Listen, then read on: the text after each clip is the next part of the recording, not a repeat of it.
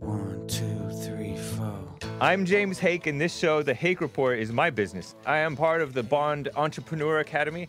I started The Hake Report two years ago with Joel and Esteban. Then I broke out on my own weekly on YouTube and audio podcast. Now, as of July 2019, I have been going daily, six days a week, Sunday through Friday, five days a week, Monday through Friday on the Jesse Lee Peterson show stream, and one day a week on my channel, Sundays on my channels before church.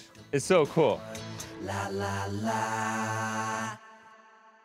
looking forward, I'm looking to get some good guests to interview, maybe add more hours, get out of the studio sometimes, get on Instagram more, and put out some cool t shirt designs. That's my little update for the Bond Entrepreneur Academy.